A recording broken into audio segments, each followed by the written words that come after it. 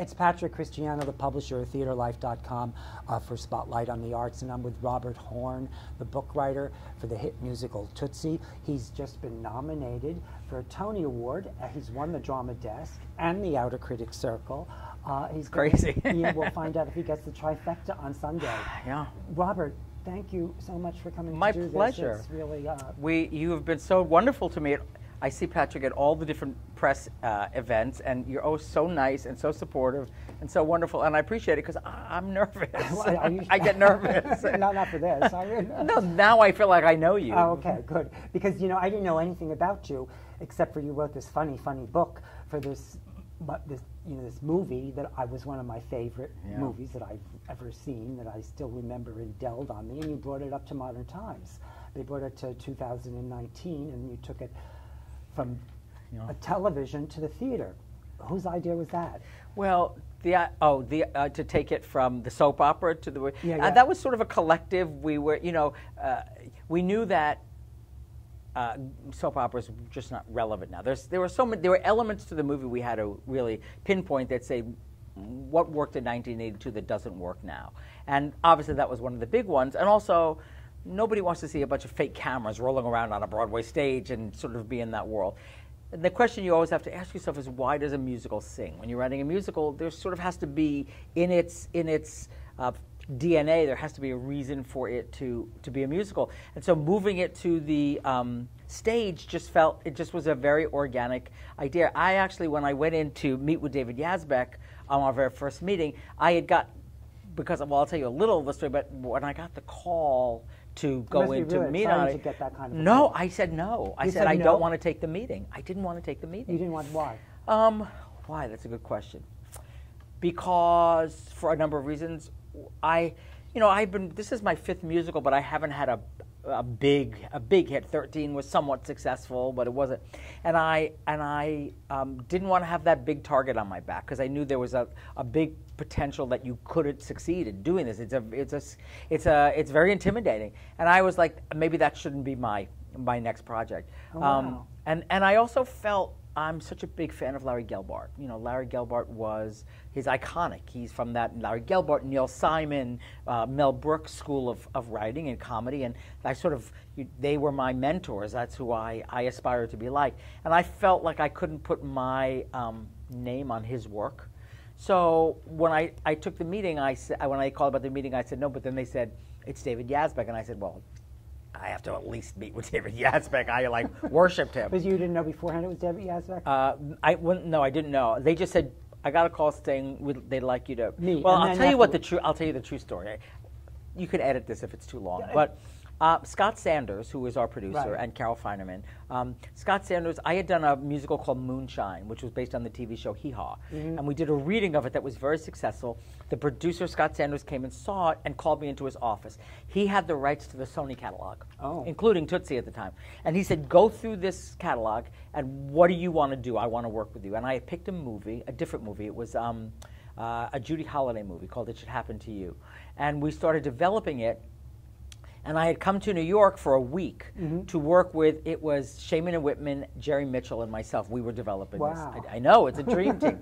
And while I was here, they called about the Tootsie meeting, and I said I, I didn't want to take the meeting. And my agent called back and said, Mr. Sanders said, You are here on my dime. You are taking the meeting, which I thought, good for him. So, and then I, and they said it was Yazbek, and I said, in a second. And so I went in and, and met with David, and I, and I, I actually kind Had of you seen the band's visit?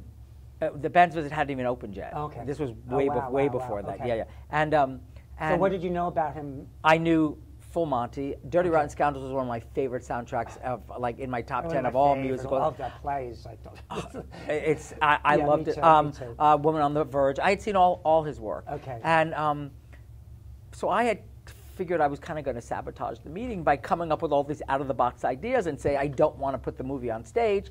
One of them was is we have to take it out of the world of soap opera. And ironically, David had already come up with that. So we sort of it was a kismet wow. of, um, of some of the idea. Excuse me, some of the that ideas that, I came up with. like I was like, wow, we're on the same page on about a lot of these things. Um, I don't want to give away some of them because there are surprises in the show. Okay. But um, I had so we sort of there were like two or three ideas that I thought were going to be controversial, and he was on the exact same page already, and so Wow. it um, it uh, it kind of was So that kind of kicked it into Kinda kicked it in, and I knew- gear, and yeah. then you people were getting along because I got to talk to you people. I saw how well you just kind of just- bounced off each other. Patrick, we love each other. It is really, uh, it was what, and, and you know, you said, you said, you know, I, you didn't know who I was 48 hours ago, as many people didn't. But Well, I've I been doing I knew this, you all, wrote yeah. book for Tootsie, but I didn't. Well, I mean, I didn't know you were. I, first of all, I knew thought of you as a Californian because you would come I'm from really California. not, but and then yeah. the other is- Yeah. and then I looked. I said, oh, he went to NYU, Yeah. and he he went to Circle in the Square. I had a dream of going to NYU, but I had no money. I was on my own at a young age, and I just sort of was really poor. And I was like, I, I would love to study theater, but I, um, and I just had this fantasy of going to NYU. And I found out about a scholarship that um, they gave to one boy and one girl every year. We would, they had a, a full scholarship, and I auditioned, and I wrote my own monologues. I wrote two monologues and auditioned my own monologues, and I got the scholarship. So you were an actor originally. Yes, but I was horrible. But I did not. I do not. I am convinced to this day that I got it because of the monologues and not because of my ability. Uh-huh. Because I was I terrible. I was terrible. I don't. I'm. You don't So want to see that. did, why why do you want to act even then? Um, you know, I, I think every everybody who's not an actor in this business started off as an actor, Oh, and then I think because I think that's sort of the allure at first. I, I I knew I loved writing, and I was sort of supporting myself doing some Mm-hmm, writing. I would write monologues for actors for twenty bucks a pop for acting class and auditions and stuff. I advertised in there was a magazine called uh, uh, Oh, Drama all this. This is Log so or fabulous. Backstage or something. Backstage. And backstage. Backstage, yes. And I And would show- mhm. and I put a little ad in backstage, and I would write. I would meet with the actor or actress or, or partners, and I would say what you know, and I would get to know them, and I would write them original monologues. And what would you charge them? How much? Twenty bucks. Twenty bucks, which at that No, time no, was jump a ahead. You- fortune. You got to Circle in the Square after So I- that. And so what I- did you do at Circle in the Square? Uh, right again. I studied well. It was not a it was not a serendipitous relationship Oh, at okay. Circle because, um, I you know it was Nico Psacharopoulos and Michael Kahn Oh. and Terry Hayden and these icons of of theater, and they want you to do Their way. It's Yeah, they want you to do. you know, process all- you. they want you to do Shakespeare, and they want But you so- to do the. now, I- they- I- you got you got to Cal- California right away, and you, you, you produced and created designing. no, I didn't. No, not at all. You No, didn't? I didn't produce. I pr- I wrote They- and the produced Wik- it. I didn't. They say you they credit you as Yeah, well, it's wrong. Oh, I, yeah, I was a producer, but I didn't create it. Linda Bloodworth Thomason created it. Okay. I came in in the later years of designing women, and so um, I got to. But they give you uh, producing credit. oh yeah, yeah. Okay, sorry. in television. but go back. I didn't. Yeah. Okay. No, no. Um, to You where? got to, and I, Oh. I interrupted. Uh, no, that's okay. Uh, uh, so I, I went to Circle. I didn't last my whole tenure there because I just wanted to. So I, again, I would just come in with scenes that I wrote for myself, and I liked big, broad comedy, and that was not what they. That was not sort of there. So No, I said. "This is not going to work," and I and I left. I felt that that scholarship and that place should be taken by somebody that I think benefited more than I did. And I bummed around New York for a while, and then my mom and sister had gone out to California, and it was a horrible time to be in New York. It was the mid 80s, and the AIDS crisis had hit, and New York was in a depression, and nobody could get a job. It was, I needed to get out. I needed to get out. And so I went to California and just sort of bummed around and got a waiter's job and f- trying to figure out what to do, but always writing. And then um, And what were you writing in the background? Writing plays or writing? I was writing. Well, I was writing, writing at that time pilots, television. pilots? I was trying to. So how did how did you hook up to write television pilots? Well, what happened was, um, and I've told this story and it's true, is that my best friend from New York had a boyfriend who was doing Cage aux on tour in LA, and I and he became my roommate. And so mm, he, he eventually moved out to uh, California, was on the beach, met a group of friends. They were looking for a joint, and my friend said, "Oh, I know we'll have a joint, Robert Horn." And so they came to my house, and I started talking to one of his friends who was working. His name is Danny Margosis, a wonderful writer who was working um, at CBS as an assistant. And we started talking, and he said, "I'm trying to be a writer," and I said, "I am too." And we wrote a pilot together. And when you What work was at that pilot? it was called Cellavision. It was a behind the scenes of a game show. It was a very traditional multicam sitcom pilot. This was the uh, this was the 80s, and so uh, late 80s. And so we wrote this pilot.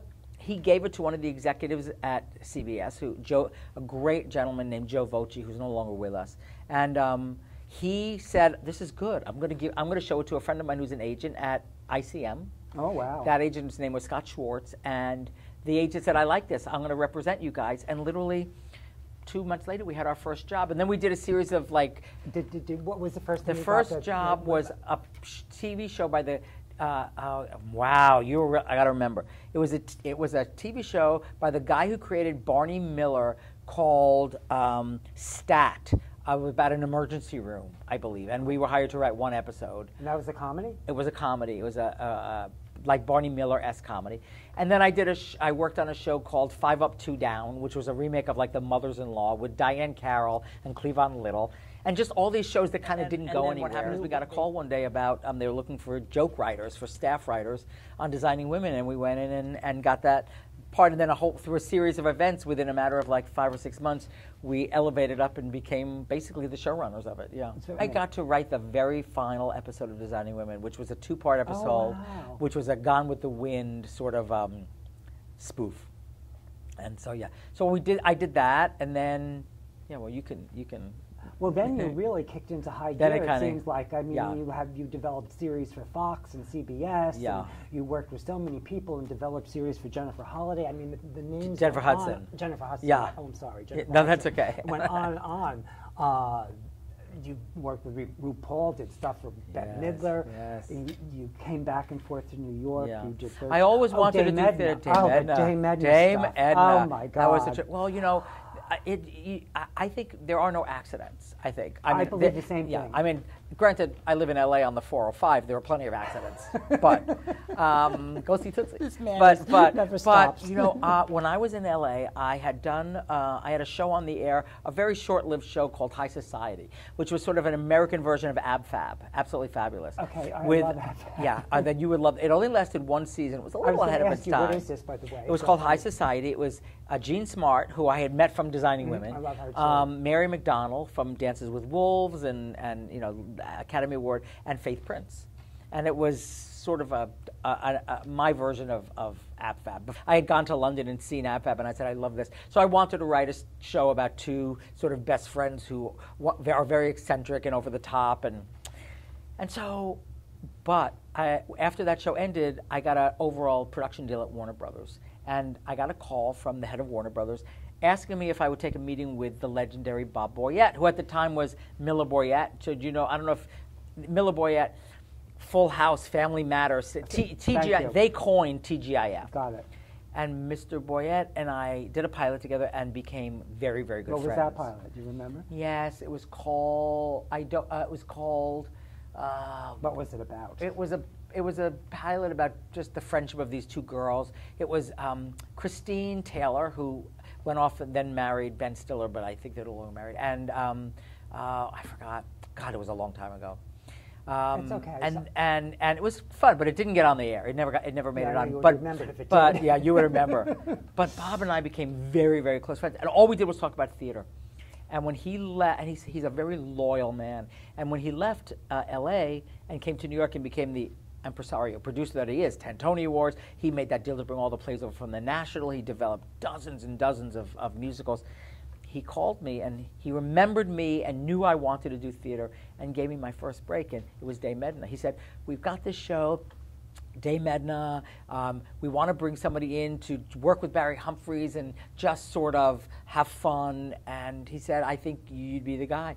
And he did, and that gave me my first job. Well, it was also a perfect match. It was great. He, the man is a genius. He's a genius, and it's very interesting too because he is so um, both protective and possessive of because he has many characters that he's done. For, in America, we know Dame Edna, but in Australia, he's known for many, many characters, uh, sort of like what Carol Burnett would be. And so it was very interesting when he's Barry Humphries, he will never talk as Dame Edna. He, you have to be Dame Edna. He will talk about her, but he won't. He would well, I not. understand talk- yeah. because you're only giving an affectation. and Cor- You're not really sinking into the full exactly- embodiment of what it's all about. Yeah.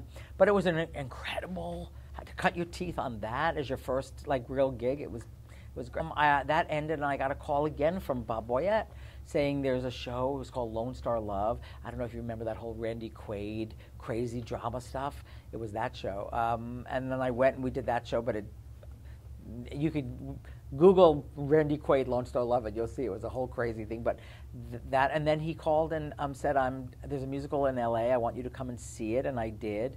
Uh, and he said, "We're going to bring it to New York, but we're looking to bring another writer in to sort of do a, a another a diff- work on it." And that was 13. When we were talking, one of the times you said then Santino got attached to the project really early, and it inspired you. So having someone like that, knowing what they do, does that you get this? You get you get them, so you have you're inspired to write. The truly, yes. You, you you write with them. With them, and and for them, yes. Uh, uh, you know, obviously the ca- there was a character that existed in the movie, and you know that's sort of your your, your, uh, your, your where you start from, yes. Yeah. But then you get Scott Ellis to come in, and not only that, but then he says, "I'm only going to do this if Santino Fontana is my leading man." And David and I were like, "Okay, I actually." I knew I had seen him in Cinderella. I didn't know him all that well. Right, right. Um, and he came in and we did a table read. And after that table read, I was like, holy crap! It was amazing. It was it was just. I think. And what, what, do you pull out of that? What, what do you pull out of something like that that you hone into to write a, to write for or with? What, what was? Yes. What is it you see? well, you I take away. I love, oh, that's a that's a whole other episode. But I but I will but I will tell you uh, briefly. I I hear rhythms. How people how somebody. I can sit down. I can work with an actor and very instantly know what they're good at. I know where where they their rhythm, how they'll speak, what they bring to it, their the analytical approach they take to a character. I can see that right away. I just can hear it. It's sort of a. So it's almost hear, like if I was a pianist and somebody played the piano, you'd be able to know if they were playing in tune or not. I wouldn't, but if I was a musician, I would. So when you say you can hear it, do you have to see them doing it too? yeah. Have, is it just so it's I, a combination? It's a combination. It's just, and I I could tell uh, uh, when he was reading my jokes, my, the humor. I could tell what he liked and what he didn't like. Oh. I could tell what he, I, I could tell what he connected to, mm-hmm, mm-hmm. and then I could, then I started to see the the, what was very important to him, as to myself and and David and Scott, was that Dorothy Michaels, the persona that he then creates, right. is never. It's not. It's not drag. It's not that it is actually that he is a that the character of Michael Dorsey is a consummate actor who creates a character that he is going to play, and that he believes it, and the people around him on that stage must believe it. And I started to watch how his it's really fascinating when you watch him. His literally every every part of his body changes when he becomes Dorothy Michaels. His not just his mannerisms, but every affectation, every every muscle in his body. I don't know how he does it. So as I started to see that, even sitting behind a table, I, and then he, as he started to play with the voice, and he started to play with, you know, I, I started to see that not only can he deliver comedy really well, but he's a great reactor. So I knew, okay, if I can surround him with, which means he's a good listener. He's a great, he's a great listener, and he's mm. also, not to jump to change the subject, but he's also a leader. Uh, uh, this is a real, as I like to say, a, a, clown car of comedians on that stage. But he definitely is the the leader, and he definitely has taken that role, and you can feel it on the stage too. He is pulling that show. He's leading that show. He's in every scene except one. And um, yeah, and so it was just like, it was great. I mean, we he had a lot of opinions. All he's very smart. He would see things I just wouldn't see.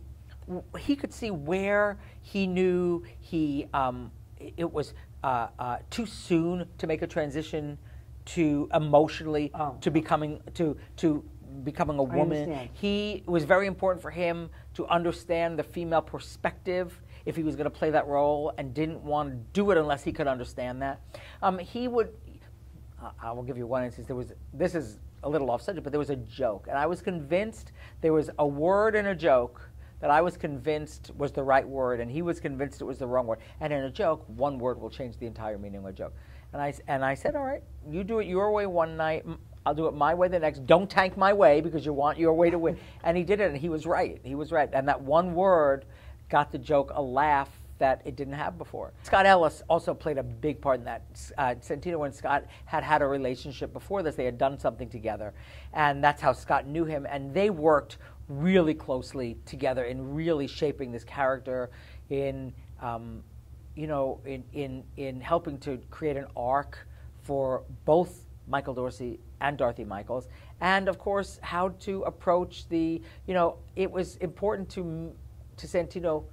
I had gone in with the idea that I sort of believe you don't a character doesn't have to be likable for you to like them and that the, the whole and Michael Dorsey does not start out as a necessarily likable person.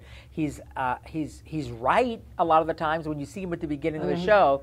He's his approach to his opinions are not the best, you know. Right. There, but, but he's right about what he, you know. He and and he, he's a he's a true artist.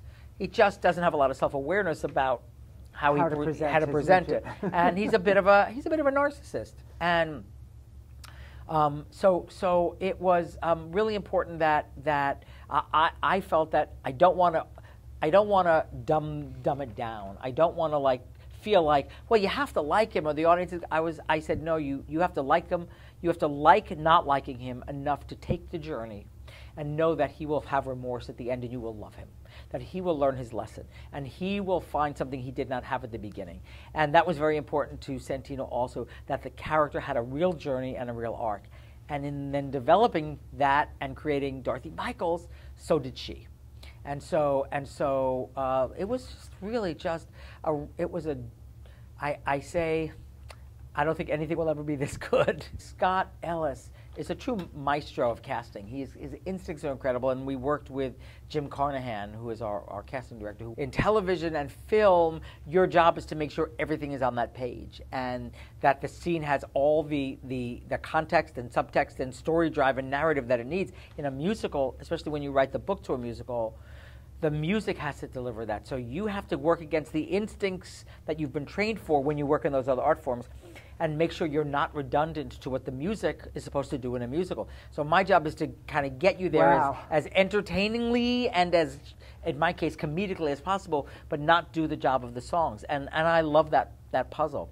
So it's different in that respect. And in LA, when you're working on a TV show, you have a writer's room, so it is collaborative. Um, but but the writers are sort of um, working to create your vision as the creator or showrunner of the show. Whereas in theater, everybody there's a everybody's doing a sort of a different job, and the job of a director is to unify that with their vision uh, and bring it all together. So uh, theater is, I feel like, a bit of more collaborative in, in that way, that not everybody's doing the same thing but working for the same cause. Three and a half years on this show, never, never a fight, never, a, it was laughing.